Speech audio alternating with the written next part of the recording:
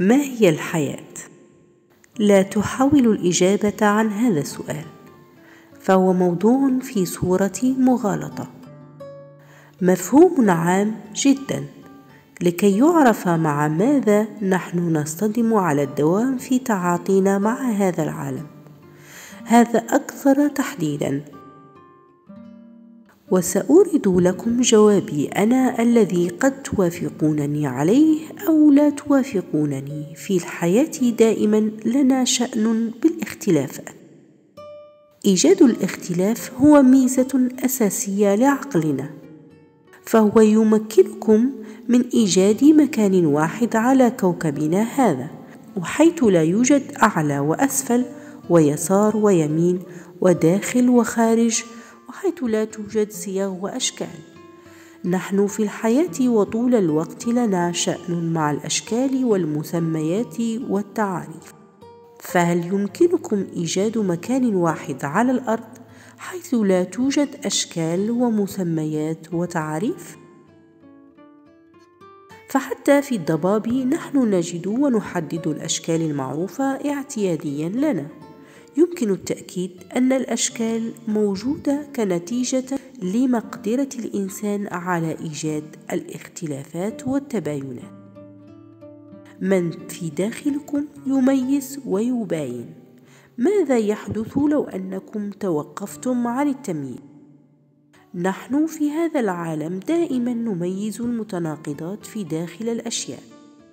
الأشكال ومن خارجها في داخل الأشياء نحن نميز اليسار واليمين ومن الخارج نضع الأشياء المتناقضة على التقابل وفي جهتين متقابلتين تفصل بينهما حدود غير مرئية. زد على ذلك أن كل واحد منا يضع حدوده الخاصة به. ما هي هذه الحدود؟ وأين تشق طريقها؟ وكيف نفعل ذلك نحن؟ طالما أن في كل شيء أو ظاهرة يوجد شيئان متناقضان فهل يمكنكم إيجاد في الشيء نفسه متناقضا ثالثا؟ لدى قلم الرصاص مثلا نهايتان فهل بامكان إيجاد نهاية ثالثة لقلم الرصاص نفسه؟ لا. وهل لدى قلم الرصاص شيء آخر؟ أيضا لا. إذا إن هذا العالم مزدوج أي مثنوي. كل الأشياء فيه من الداخل ومن الخارج تملك متناقضات. المتناقضتان الأساسيتان في اللغة الصينية تمت تسميتهما باليانغ واليانغ. بدايات الذكورة والأنوثة على التوالي الموجب والسالب النشط والخامل المذكر والمؤنث. بدايات تنفذ إلى كل الفضاء وإلى كل الكون المثنوي. إن التأثير والتفاعل المتبادل بين بدايات الذكورة والأنوثة يولد الأشياء ويحافظ عليها. وكذلك يدمرها. لذلك في الكون المزدوج توجد ثلاث حالات لتواجد الأشياء والناس التكوين والحفظ والتدمير. يمكن التاكيد أن في أساس وجود الكون المزدوج تتوضع بداياتنا وثلاث حالات أي أوضاع ولا شيء آخر. أنا هنا لا أنوه إلى أن الأساس هو الواحد والذي منه خرج الكون المزدوج لأن هذا مفهوم وبديهي. لقد لاحظت أن هناك اناسا كثيرين ببساطة هم لا يذكرون أنهم يعيشون في عالم مزدوج. وحتى عندما تورد لهم أمثلة مثل أن في الكون ليلا ونهارا نورا وظلمة شتاء وصيفا وتعرض عليهم يحاول إيجاد جنس ثالث ورغم هذا لا تجدهم يفهمون عما يدور الحديث. الطريقة الأفضل على الإطلاق للفهم والإحساس بازدواجية هذا العالم هي بوضع أصبعين في مدخل كهربائي حينها ستعايش البنية المزدوجة للعالم من أوسع أبوابها. المتناقضات الأساسية. إن وجود المتناقضات في كل أشكال الحياة ومجالاتها تقضي بوجود توتر وتيار فيما بينها رغم أنه من غير الممكن لنا رؤية ذلك دائما والإحساس به بوضوح كما هو الحال مع التيار الكهربائي. وبفضل الطاقة تحديدا تلك الحاضرة في النقائض يحيا كوننا ويتطور. كذلك يحيا الإنسان ويتطور بفضل الأشياء المتناقضة الموجودة بداخله. على سبيل المثال نصفي المخ اليساري واليميني. وبالنظر إلى هذا العالم نقسمه بوضوح ودقة كبيرة إلى ما هو لي وما هو ليس لي. مقرب وغريب. بعبارة أخرى نحن نميز فيه الداخل والخارج ونمنح لهذا أو ذاك هذه الدرجة أو تلك. فالذي نعده مقربا نقبله وما نعده غريبا نرفضه وننبذه. كيف ستصبح حياتكم لو اختفى منها كل مقرب وكل غريب؟ وكيف ستصبح حياتكم لو أنكم توقفتم عن التمييز فيها ما بين الغريب والمقرب؟ نحن أيضا نجيد تقييم الأشياء. أشياء محدودة وضع محدد في المجتمع. على سبيل المثال نحن نعد هذا ذات قيمة وتلك قيمتها لا تذكر. أي أن هذا العالم هو وفق فهمنا. ركزوا انتباهكم. إن كل شيء يبدأ في العقل وله أعلى وأسفل أي أنه يتوضع بشكل عمودي من بين ذلك وهنا. كذلك الأمر نحن نعطي التقييم. كيف ستتصرفون وكيف ستعيشون فيما لو توقفتم عن التمييز بين الأعلى والأسفل؟ ماذا سيحدث لحياتكم؟ ولكم إن فقدت الأشياء قيمتها بالنسبة إليكم. يتحدثون أن جوتا قال ذات مرة الرب في الصغائر ماذا عنى جوتا بذلك؟ نحن نعد كل الأشياء في هذا العالم إما صحيحة أو غير صحيحه مثلا كيف تعيشون حياتكم؟ قد تعدون ذلك ليس صحيحا وكيف يعيش أحد ما آخر غير صحيح. الرجال مثلا يرون أنهم يعيشون حياتهم بشكل صحيح. في المقابل يرون كل ما يقمن به النساء غير صحيح والعكس. وبالتالي فإننا في هذا العالم نميز بين محق وغير محق يسار ويمين. وفي داخل هذه الثنائية نحن أيضا نعطي التقييم. من ستصبحون؟ كيف ستمضون حياتكم إن توقفتم عن عد أنفسكم محقين؟ ماذا سيحدث لو توقفتم عن التمييز بين المحق وغير المحق؟ الأحقية هي إحساس ينطلق من جملة معتقدات وقناعات هذه القناعات والأشكال الفكرية أنتم كونتموها على مدى عشرات السنين. واقعيا يمكن التأكيد أنكم أنتم. هي أشكالكم الفكرية. ولهذا فالإيمان في قناعاتكم الشخصية وأحقيتها صلب وقوي. ولهذا أنتم تسعون دائما لإثبات أحقيتكم مهما كلفكم ذلك وبكل الطرق. ماذا يحدث للانا خاصتكم عندما تتوقفون عن إثبات أحقيتكم؟ ماذا سيحدث للانا خاصتكم عندما ستقرون بأحقيتكم وبالأشياء غير المحقة اليسارية؟ وهكذا نحن قد أوضحنا بدقة بأن هذا العالم مزدوج وفيه يمكننا تمييز الأشكال التي نميز فيها الداخل والخارج الأعلى والأسفل اليسار واليمين. لذلك نحن نقابل الأشياء المتضادة ببعضها البعض. عند التفاعل المتبادل مع العالم الخارجي نجري عمليات التمييز والتقييم التي تخرج منها مواصفات الأشياء مثلا الغرابة والقيمة والصحه هذه الحالات الثلاث تعني الحق في الحياة.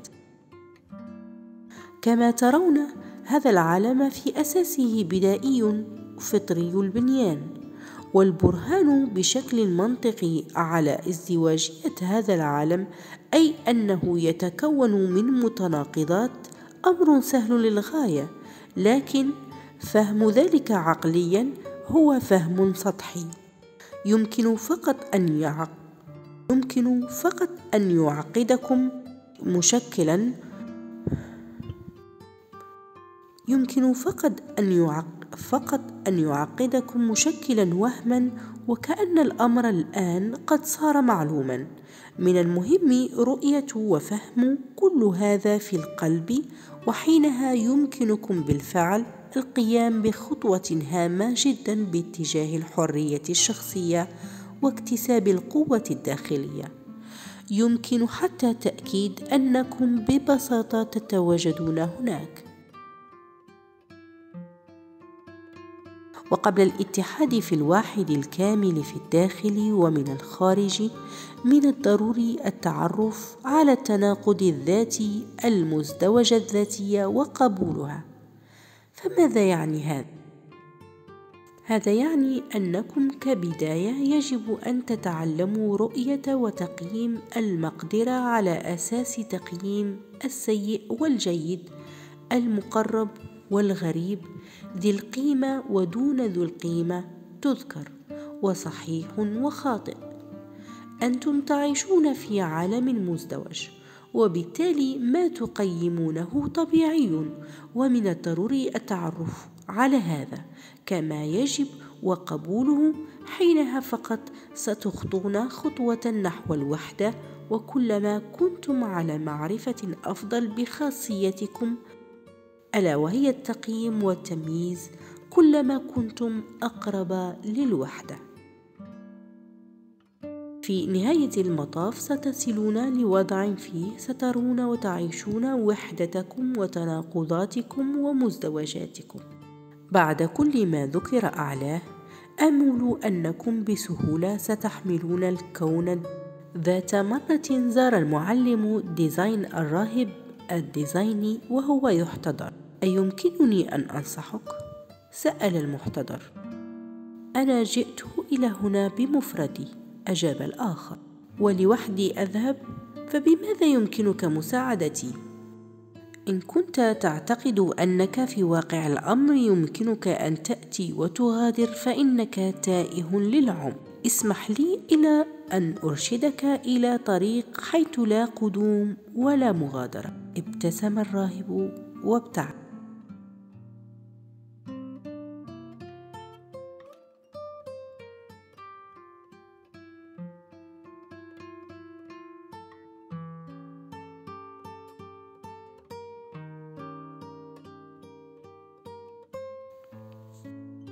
سحر القطبية. والآن تعالوا لننظر كيف تتجلى المزدوجة أو التناقض في الحياة. في عادات اليابان الشعرية اليانغ واليانغ. كما صار واضحا جليا أن هذا العالم متناقض ومزدوج. ويتضمن في ذاته نواة لبداية التناقض ببساطة نقول إن في الخير يوجد شر وفي الشر يوجد خير. شعبنا عارف وبشكل رائع بهذا القانون حيث يقال لا تفعل الخير لن يكون هناك شر. في كل طرفة يوجد جزء من الحقيقة. كان هناك رجل يعمل سائقا لباص يعتمد على التغذية الكهربائية تروبوليس. تروليبوس. وقد عمل طويلا وقد عمل طويلا ممارسا المهنة ذاتها. الأمر الذي أدى به إلى الإصابة بمرض مهني نتج عنه عجز من الدرجة الثانية. هذا كان في بداية التسعينيات. حيث حدثت قفزة كبيرة في الأسعار وكل أنواع الأجور وكعاجز حددوا له وكعاجز حددوا له راتبا تقاعديا مقداره 12 روبلا روبلا في الشهر.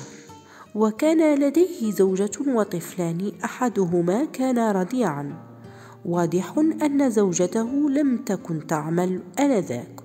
وكانت تتقاضى تعويضا ماليا مقداره أربعون روبلا شهريا. ومن جراء ما حدث من ويلات ومصاعب فقدت حليبها الطبيعي واضطرت للاعتماد على الحبيب على الحليب المجفف لإطعام رضيعها.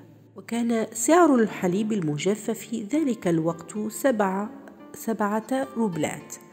الصورة الآن أصبحت واضحة لكم عن حالتهم آنذاك وما آلت إليه أوضاعهم. سعى الرجل لإيجاد مخرج ما من وضعه ذلك فاتجه طالبا المعونة إلى مؤسسة الضمان الاجتماعي لكنه لم يحصل على المساعدة المرجوة.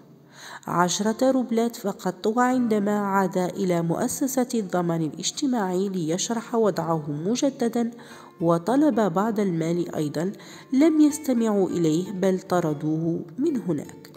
هذا الرجل أمسك بالعشرة روبلات وألصقها بكل ما ملك من قوة على جبين على جبين الموظف المسؤول في المؤسسة المذكورة وغادر.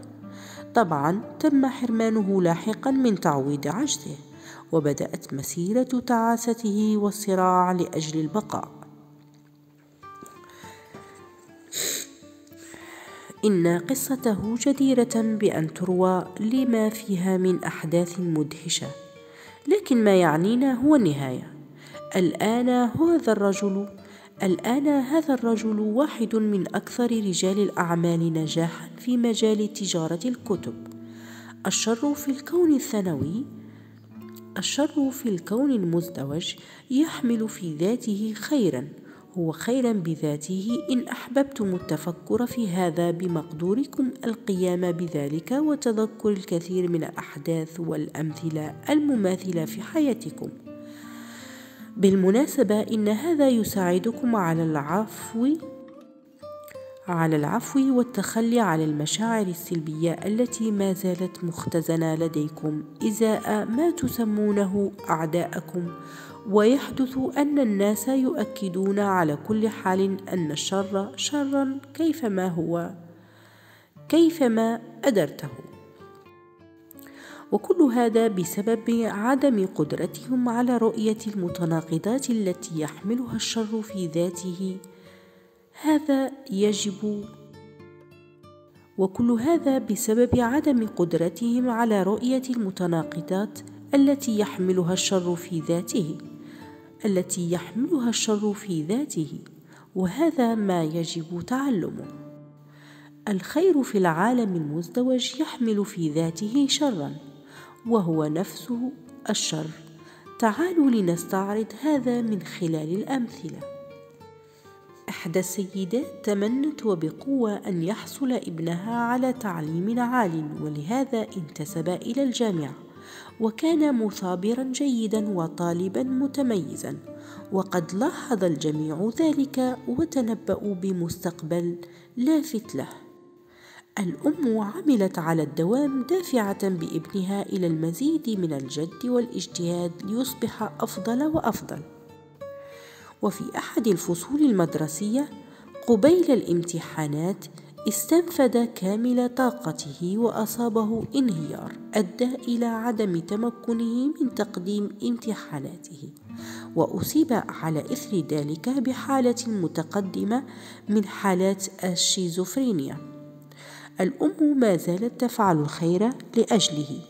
أي ما إن يتحسن وضعه قليلا حتى تبادر هي إلى مضاعفة الجرعة الدوائية المعطى له على أمل أن يتعافى سريعا. ومن جديد تتأجج حالته ويعود لمرضه. سيدة أخرى تربي بمفردها ثلاثة أطفال. يمكن القول إنهم موهوبون جدا. فماذا هي تفعل لهم؟ هذه قصة كاملة تكفي لكتابة كتاب كامل حول أحداثها ومجرياتها. وفق أسلوب في وفق أسلوب فيودور ديوسوفسكي دي ديستوفسكي.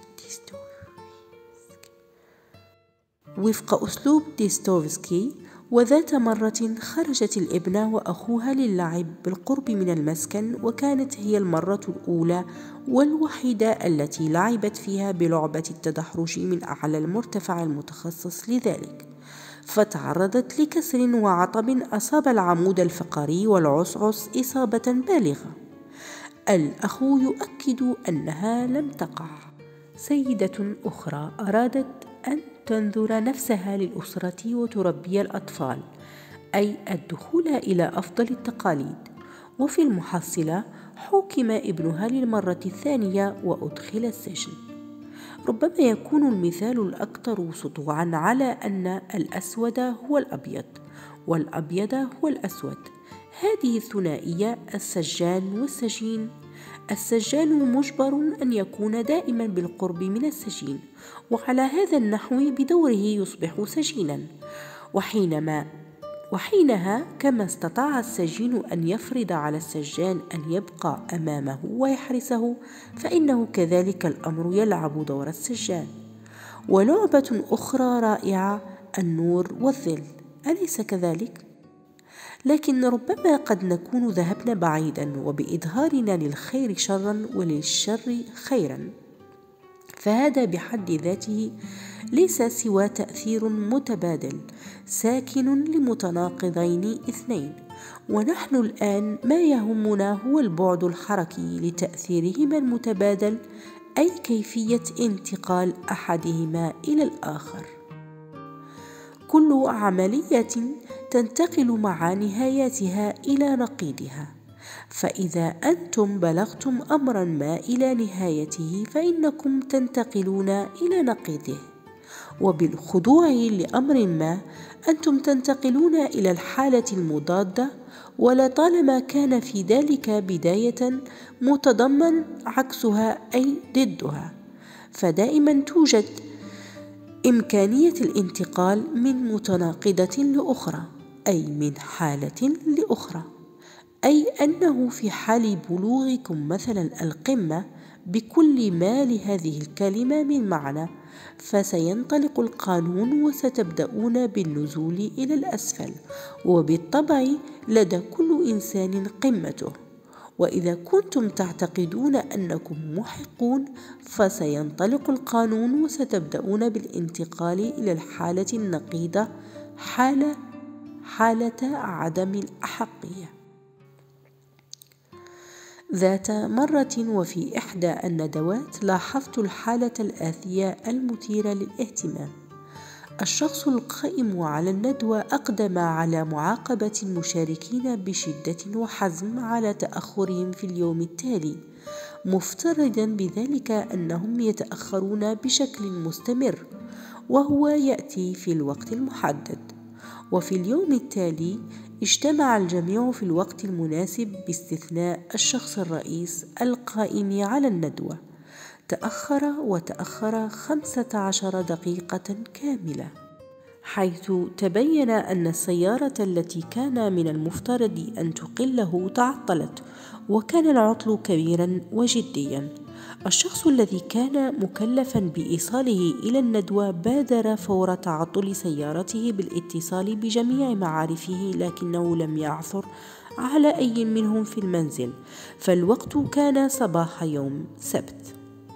اضطر للبحث عن سيارة عابرة تقله إلى عمله وهذا لم يتوفر بسهولة. وكأن جميع السيارات قد اختفت مع العلم أن هذا حدث على أحد الأوتوستادرات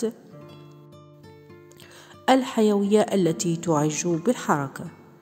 بعض المشاركين في الندوة عبروا عن استيائهم من تأخر القائم على الندوة ولا سيما وأنهم يرغبون دائما بالتقيد بالاتفاقات.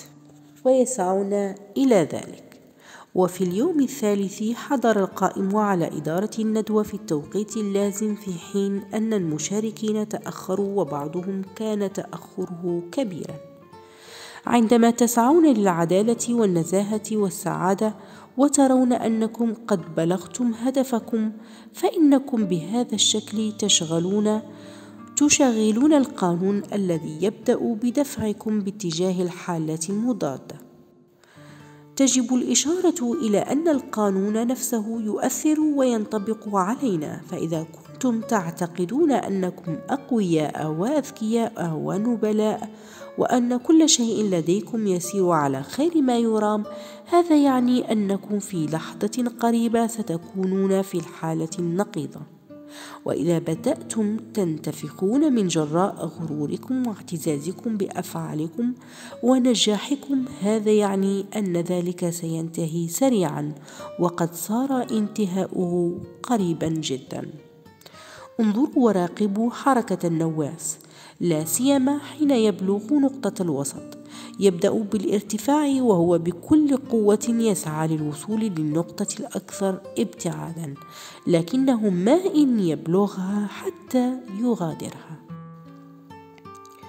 كم من المرات في حياتكم حدث أن قلتم إنكم بلغتم هدفكم ونلتم ما أردتم ثم أضعتم ذلك لاحقاً؟ كلما قلنا لأنفسنا ذلك فإننا نفقد ما بلغناه حيث يبدأ الشيء أو الإنسان أو بالابتعاد عنا والرحيل جسديا أو ذهنيا. هل تذكرون كيف أن الناس في حالات كثيرة يقولون إنهم يملكون كل شيء جيد وأنهم يعيشون بصحة جيدة وبخير وتراهم يتعبون يتبعون ذلك بلفظ أو إشارة ما لمنع الحسد كما يقال. نعم إن كل قوانين هذا العالم معروفة لنا في وجداننا. كل مرة عندما نقول في أنفسنا هذا غير موجود لدي ونأخذ بالفعل هذه الوضعية للأشياء فإن هذا الشيء أو الإنسان يبدأ بالاقتراب منا جسديا أو على المستوى الذهني. تذكروا تذكروا حادثة حصلت معكم أنكم مثلا تقبلتم غياب شيء ما وسلمتم بذلك وتوقفتم عن التفكير به وانتظاره وفي لحظة ما سرعان ما حصلتم عليه وحينها بدا هذا كمعجزة. نحن دائما نحصل على ما هو ضروري لنا عندما نتوقف عن المطالبة به.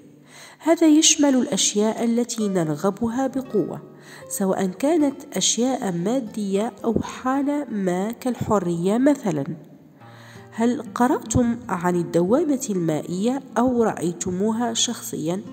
الطريق الوحيد حسب علمي للنجاة من الدوامة المائية هو عدم مقاومتها حتى استنزاف كامل حتى استنزاف كامل القوة وإنما الاستجابة لها حتى بلوغ القاع وهناك تضعف قوة التيار فيسهل عليكم الخروج وتستطيعون أن تطلقوا أن تطفوا من جديد. كما ترون في كل مكان من الطبيعة الأشياء كلها تتكرر لأن القانون واحد في كل مكان. زوج إحدى السيدات كان يشرب الكحول وهو ذو سلوك غير سوي. ومع استمرار هذا كان يطول غيابه عن المنزل وكانت هي على الدوام تبحث عنه وتجري خلفه وبعد جهد جهيد تتمكن من العثور عليه. فتعيده إلى البيت واحيانا كانت تبوء كل محاولاتها بالفشل. وأخيرا وفي إحدى المرات خرج ولم يعد لأيام عدة فجلست الزوجة وأخذت تطرح على نفسها الأسئلة الآتية. لماذا أنا أجري لماذا أنا أجري خلفه؟ لماذا أحاول كل مرة العثور عليه وإعادته للمنزل؟ لأني أخاف البقاء وحيدة. أجابت. أنت بطبيعة الحال وحيدة بالبيت. تردد صوت داخلي. فقبلت واستسلمت للوضع وقررت بأنها لن تبحث عنه بعد اليوم ولن تجري خلفه ولم تنقضي سوى ساعات فقط حتى رن جرس المنزل وإذا بالزوج يقف بالباب ولم يغادر بعد ذلك مطلقا وتخلى عن عادته السابقة. إذا صادفتم مشكلة ما فادخلوا فيها واعبروا من خلالها إلى الجهة الأخرى. وإذا واجهتموها مقاومين لها لا مسلمين بها فإنكم حينها ستنست... ستستنزفون كل طاقاتكم وتكونون كمن يتعرض للكمات كثيرة موجعة على ظهره وهو يحاول الهرب من تحت تلك اللكمات. عندما تواجهون رعبا ما وتدخلون فيه دون التهرب منه بل متأثرين بما فيه من مشاعر كامنه فإنكم بسهولة ستعبرون إلى جهة أخرى. كل مشكلاتكم ومخاوفكم هي مداخل إلى القوة والمعرفة والحرية. فلدى المناضة خاصية فلدى المناضة خاصية الوثب فيمكن القول إن التباين والتضادد بطبيعته يملك خاصية الانتقال من مكان إلى آخر ومن واحد إلى آخر. هناك طريق واحد وربما وحيد لمراقبة كونه ووجوده في إحدى المتناقضتين وهذا يؤسس لنظام الاقتراب إلى الهدف. فأنتم تعرفون أن الوثب يحدث حينما تبلغون الحد الأقصى. انظروا إلى ما بلغتم في الحياة على أنه درجة على طريق الهدف الأكبر.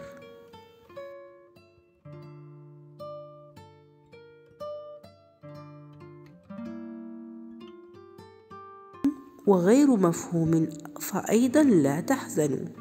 فهذا يحدث لأنكم تستعجلون. وتلك هي سمة عقلكم هو دائما في عجلة من أمره. هناك حيث وجدتم أنفسكم. والمعنى يضيع منكم. أعطوا لأنفسكم الوقت للتكيف مع كل ما تسمعونه على هذا يمكن أن يذهب يوم إلى ثلاثة أيام. أتمنى لكم النجاح. إن المعجزة أحبائي. ليست في أن تطير في الهواء أو تسير على الماء بل في أن تسير على الأرض كما هو معلوم للجميع. في الشرق لا يمكن الفصل بين الفنون القتالية والحياة لأنه وفي المجالات الحياتية جميعها تعمل القوانين ذاتها والمتغير فقط هو شكل ظهورها وصيغة تجليها. توجد أساليب عدة في الفنون القتالية الصينية تشبه وتقلد حركات مختلف الحيوانات ومن بينها أسلوب البطة. يرون أنه بهذا الأسلوب المعلم البارع يستطيع فعل ما لا يقدر على فعله الآخرين. وعندما يتحرك تنغرس رجلاه في الأرض من واحد إلى اثنين من السنتيمترات كيف التواجد هناك؟ وأين أنت في اللحظة الراهنة؟ في إحدى المرات ذهبت مع عائلتي إلى البحر للاستراحة والاصطياف فاستيقظت باكرا وذهبت إلى الشاطئ لأتمشى وأتمتع بالهواء الصباحي النقي وبالماء البارد وبأشعة الشمس الدافئة الممتعة لا سيما في هذا التوقيت بالتحديد. كل صباح وحيث كنت أتمشى كانت تمر على الشاطئ بالقرب مني ثنائية جميلة. زوج وزوجة ومعهما طفل جميل جذاب ابنة بعمر خمس سنوات. الأم والطفله تبدوان وكأنهما من صنف الملائكة. تشعان رقة واشراقا. وصباح أحد الأيام عندما كانت تمران بالقرب مني سقط نظري مصادفة على الأثر الذي تخلفه خطوات المرأة على الرمل. أصابني الذهول فكما تعرفون الرمل يكون كثيفا جدا قرب الماء ومع هذا فإن خطوات أقدام تلك المرأة غاصت في الرمل بعمق نصف سنتيمتر وربما أكثر. أنا كنت أزن ضعف وزنها ولكنني عندما حاولت أن أترك آثارا على الرمل كتلك الآثار لم أتمكن أبدا فصرت أقفز قاصدا ذلك ورغم ذلك بقي الأثر الذي تتركه قدماي في الرمل أقل من أثر قدمي تلك المرأة بل وأقل أيضا من أثر أقدام تلك الطفلة الصغيرة لم أرى بعد ذلك تلك الأسرة أبدا ما الذي يدفع بأقدامكم؟ ما الذي يفصلكم عن الأرض؟ في أواخر الستينات توفي المعلم موريخي أوسيبا الذي يعد مؤسسا لواحد من أروع الفنون القتالية ويسمى الآيكيدو. وذات مرة أراد التلاميذ اختبار معلمهم فقرروا التسلل خفية بعد أن يكون قد خلد للنوم للتعرف على ردة فعله. وما إن اقتربوا من الباب حتى سمعوا صوت المعلم يقول من بالباب؟ هربوا على الفور وانتظروا حتى يخلد للنوم من جديد ليعاودوا الكرة. ومن جديد ما إن اقتربوا من الباب حتى سمعوا نداء المعلم من بالباب؟ ومن ثم حاولوا مرات عدة الدخول إلى غرفة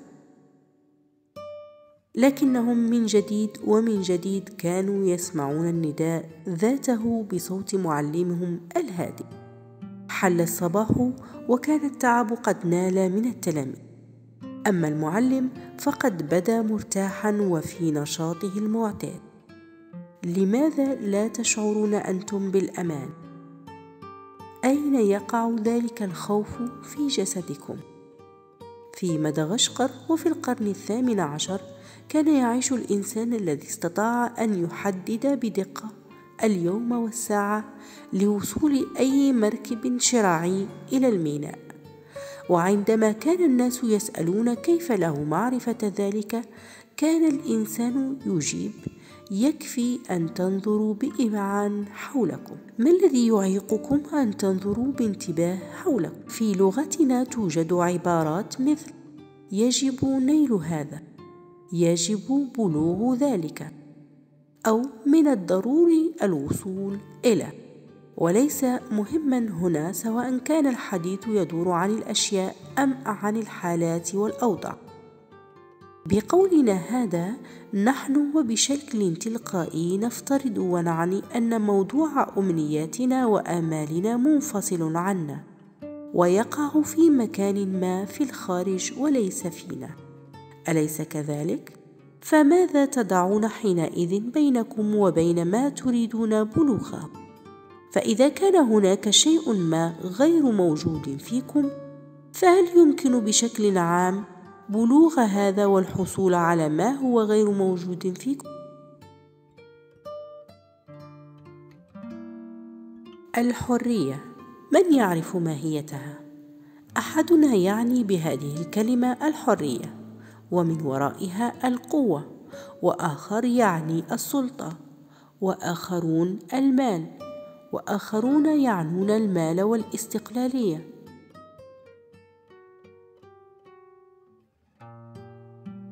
كل واحد منا يعني بهذه الكلمة شيئا ما محددا يهمه ويعنيه. كل واحد منا يسعى إليها. كل أفكارنا عن الحرية وهذه ليست أكثر من تعريف. وفي كل تعريف يوجد تقييد وتحييد نضع أنفسنا فيه لكن لا يمكنه مطلقا نقل وإيصال جوهر وحقيقة الموضوع المطروح فعلا. تعالوا لنجرب مقاربة الموضوع من جانب آخر.